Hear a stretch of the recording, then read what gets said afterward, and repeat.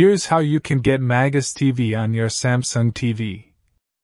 First, try installing it directly from the Samsung App Store. Press Home on your Samsung remote, go to Apps, then use the search bar to type in Magis TV. If it shows up, just select it and hit Install.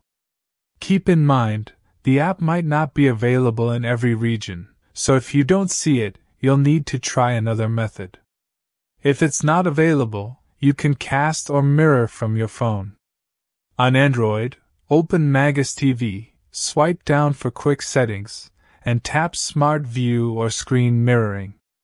Select your Samsung TV from the list, and once connected, whatever you play on Magis TV will show up on your TV. On iPhone, open Magis TV, tap the AirPlay icon in the video player, and choose your Samsung TV to mirror the screen. Another option is using an external streaming device like an Amazon Fire Stick, Google Chromecast, or Roku. Just plug it into your TV's HDMI port, set it up, install Magis TV from that device's App Store, and you're good to go.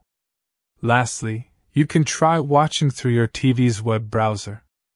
Open the browser, go to the Magis TV website, log in, and play content right there.